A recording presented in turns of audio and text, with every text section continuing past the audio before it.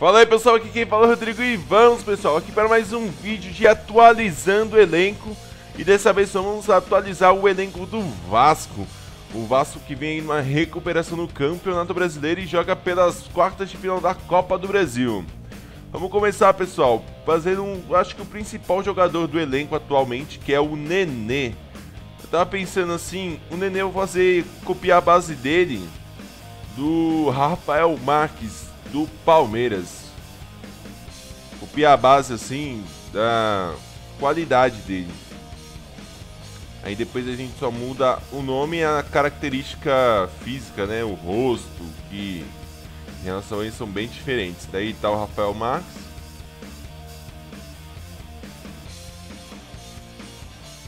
Pessoal, você deve estar perguntando por que fazer isso se você não acompanhou os outros vídeos. É um modo mais fácil mais justo. Você encontra um jogador que tem as características parecidas com o jogador que você quer fazer. Aí você pode, você vai ser justo e vai ser coerente, né? Não vai ser nada absurdo assim.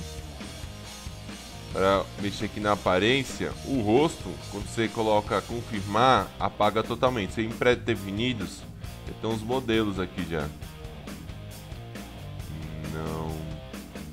Porque não ficou boa não. Vê outra. É, pode ser essa. Não. Agora, a gente ajeita o cabelo.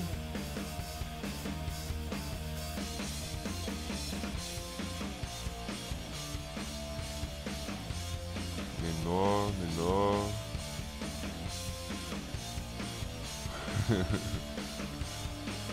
Menor. Calma aí, pessoal, um pouquinho de paciência aí que ainda tô pegando jeito aqui. Pessoal, lembrando, se você não for inscrito, se inscreva aqui no canal para acompanhar os próximos vídeos de atualizando elenco, Campeonato Brasileiro, Copa do Brasil, que vai sair esse meio de semana e muito mais. E também deixe o link aqui, o like aqui no vídeo para ajudar na divulgação, beleza? Por favor. Aí o jogador Nenê já tá feito. Foi lá para jogadores criados, agora a gente vem em transferências. Vamos lá no Vasco. Pra gente trazer o Jorge Henrique, que ainda está no Internacional. E também o Nenê, que está lá na lista de. Também está lá na lista de jogadores criados. Vamos aqui no Inter. Pegar o Jorge Henrique. Que fez um dos gols da vitória do Flamengo nas oitavas de final da Copa do Brasil.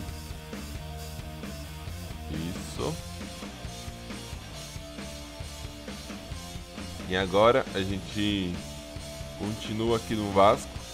E a gente precisa ir lá na lista de jogadores criados. Você cria o jogador, ele vai para a lista de jogadores criados. Aí depois você tem que voltar aqui em transferências para juntar ele ao grupo. Posso que tem até os nomes atualizados ali, tudo certinho, né? Não precisa atualizar o elenco todo, que nem eu tive que fazer com o Grêmio. Eu acho que vou ter que fazer com o Fluminense. Deu trabalho para arrumar esses times. Aqui o Nenê. Vamos agora juntar o Nenê ao grupo. O Nenê aí que é o jogador com maior qualidade, né? No elenco vascaíno. E é isso aí, pessoal. Os jogadores, pelo que eu vi, não tem nenhum jogador assim muito fora do normal. Tem alguns jogadores que eu vou precisar retirar depois do elenco. Por exemplo, o atacante Gilberto, que já foi embora. Mas daí eu tiro depois, beleza? É lá naquela lista mesmo, mesmo jeito que você junta, se você apertar o Y ou o triângulo do PS3 do PS4, você retira o jogador do, do time. Ele vai para uma lista. Aqui ajeitando, colocar o nenê de centroavante. Riascos, Jorge Henrique e o Júlio dos Santos Armando. Beleza?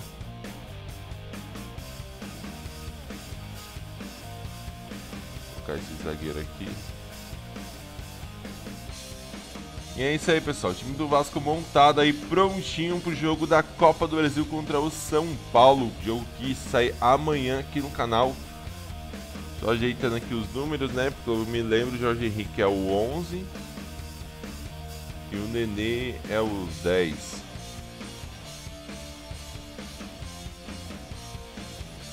Agora, vamos dar uma mexida aqui no estádio.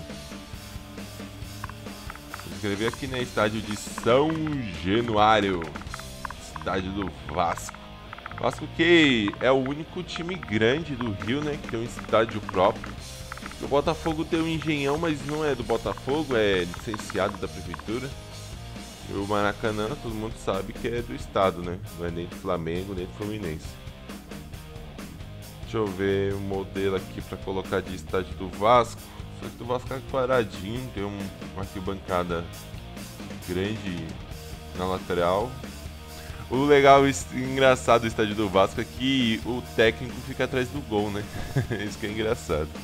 Não fica no meio. É o único estádio do Brasil que tem isso. Não. Acho que eu vou deixar esse mesmo? E para fechar, pessoal, vou só alterar uns detalhes aqui, como a cor dos assentos.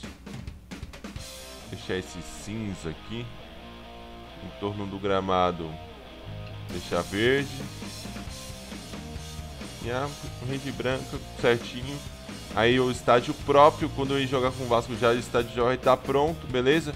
E é isso aí, pessoal. Se você não for inscrito, se inscreva aqui no canal para acompanhar as próximas atualizações de elenco. Deixa o like aqui no vídeo. Um abraço a todos e falou!